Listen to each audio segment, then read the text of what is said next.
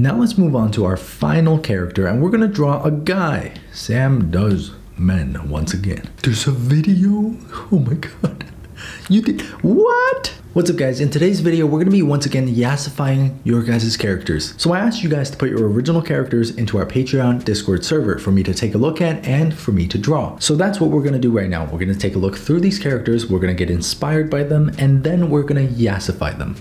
Should be a good time. Ooh, this is Mikey. That is so expressive. That's awesome. Great job with this. Wow. Here's my OC Aria. She's a fawn mage. I don't know what a fawn mage is, but I really like this big mushroom hat and the purple and green color scheme. That looks pretty good. Jesus Christ. Oh my goodness, the smoke effect here looks so good. Look at that. Wow. And really good use of soft and hard edges in the anatomy of this character too. That looks fantastic. Great job with this. So far so good guys. We're looking really good. Um yeah, we were looking really good until now. I'm just kidding. This is Maisie's work. She's a mod for our, our Discord server. And her character is blind but sees using this magic crystal ball. That's kind of cool too. And I like the white hair or like grayish hair. I like that. I like unconventional colors. Speaking of, oh my goodness, are you, hang on. Are you guys related? This is Merlin. She's a violinist by day and assassin by night. Oh, oh, ooh, Jesus. Love the character sheet here. You've got different poses, you've got different expressions. That looks fantastic. She turns. Wow, look at that. Good job. So much work went into this, and I can definitely see the amount of effort you've put in. That's fantastic. I appreciate the effort, guys. I appreciate it. My goodness, this OC has a whole backstory. Okay, you guys can pause right here if you want to read, but um, I'm not going to go through the whole thing, but the character looks really good. I love the white and red color scheme for the hair and the green eyes contrasting that red. That looks great. There's a video? Oh my god. You did what? Oh my god. okay, you know what guys? I think we have a winner. what is this? There's no description, there's no name, there's there's no Ooh, this is Momo made her for a game concept for a project at my university. That's really cool looking. Really cool. I like the way the ears kind of flow downwards instead of going upwards. It kind of like creates this nice triangular shape for the head of the character, and that's like really, really unique. Ooh, this is Claudia. She's a literal cloud. She's just swimming around in the clouds and spreading peace all over. You look in the sky and feel peace. Chances are you looked at her. That's really wholesome. That's really cute. I love that. She's peaceful and she's angry and oh wow, so she's really big.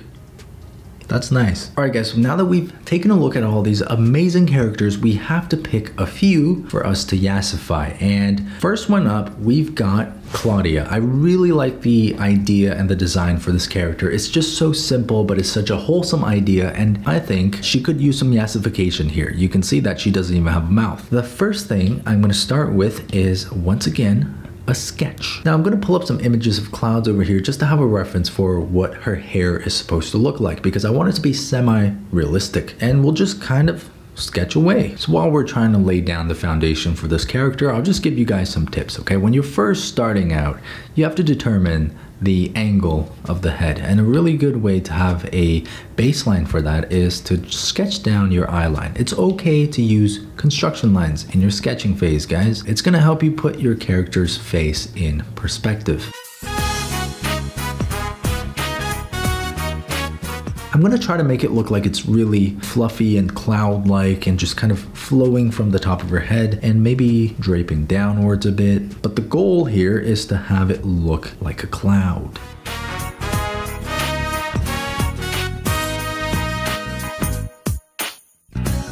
Beautiful.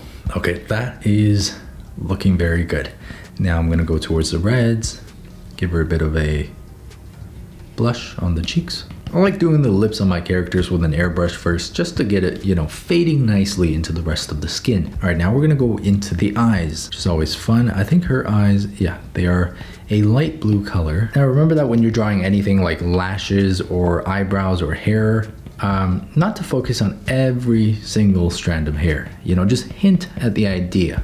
Make it look like there's a lot going on when there really isn't. So for example, like that, with some basic shapes, you can make it look like She's got long, voluptuous eyelashes. You see guys, sometimes very subtle changes to the placement of the features on your character's face can make a really big difference on their expression. For example, if I liquefy the eyebrows up a little bit too far and just move this corner down, look at that, oh my goodness. She's bipolar. I'm gonna finish up on the face of the character real quick and we can start adding some more detail to the clouds. So uh, some highlights here, you can see juicy lips, juicy nose, juicy eye corner, juicy nose ridge, just like that. Now, if you guys are wondering why there's blue in the shadow of a cloud? Well, that's because of the ambient light in the environment. And the ambient light in this case is coming from the blue sky. So in direct sunlight, you're gonna see more of that bright kind of yellowish whitish color. But in the shadow regions that are going to be lit by the ambient light in the sky you're going to see more of that blue. And if you guys want to learn more about that I have a tutorial on my patreon for the month of January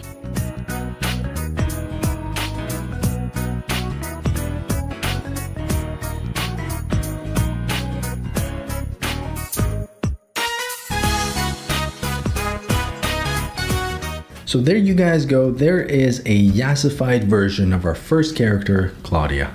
Really happy with how this one turned out.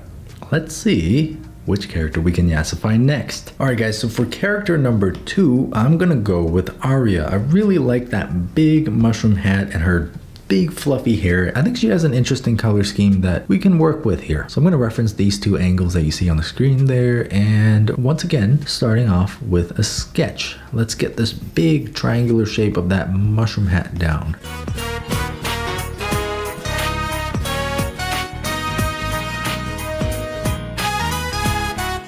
Alright guys, so I'm almost done with the sketch, but um, I'm not sure if I want to keep our eyes open or closed. It's a bit of a dilemma here. Okay, so that's the open one, and that's the closed one. I think the open one is better. So let's get started with this big green mushroom hat.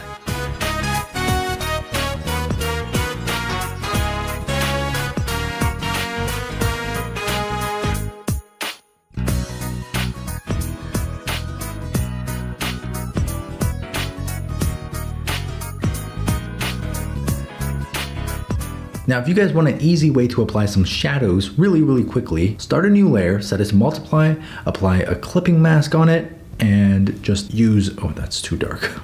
oh boy. And just use a medium grayish color for your shadows. Look at that. Instantly three-dimensional. There's some tips and tricks with Sam.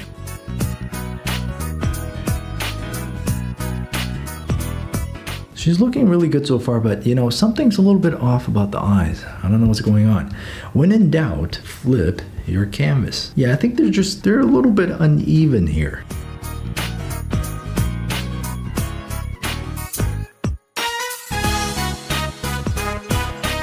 So now that her face is looking pretty good, uh, just to finish this piece off, we're gonna add in the details for her costume.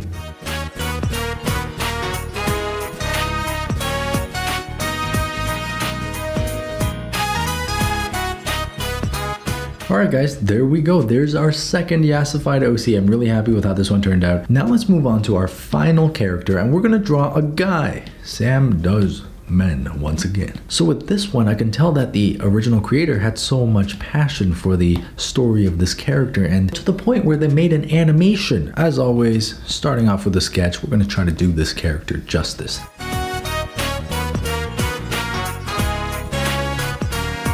And as always, before you go into the colors, make sure that you flip your canvas horizontally to spot any mistakes. There's no big mistakes here that I can see because I'm perfect. Now, when you're drawing characters, here's something else to think about, okay? If you really want a certain color to pop, let's say for example the red in this character, if you really want that color to pop, one way to do it would be to make all the other colors less saturated.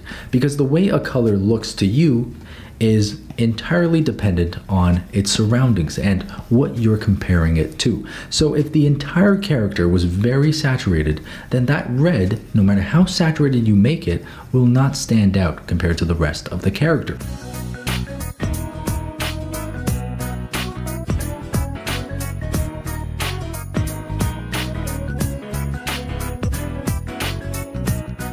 So just flipping this horizontally, you know, making sure everything's in order. Look at that beautiful rim light. Oh my, that looks really good. I mean, that just brings him right out of the background and that's exactly what I was trying to do.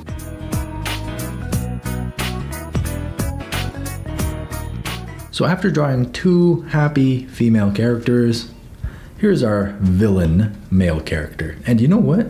He sure is yassified. He is beautiful. So there we go, guys. There's three of your guys' OCs yassified. Let me know which one of these is your guys' favorites. I think me personally, I'm leaning towards the Cloud OC, but you know, these two are cool too. I really like the lighting in this one. I don't know. Let me know, guys. Which one do you guys like the best? Yeah, I think it's this one for me.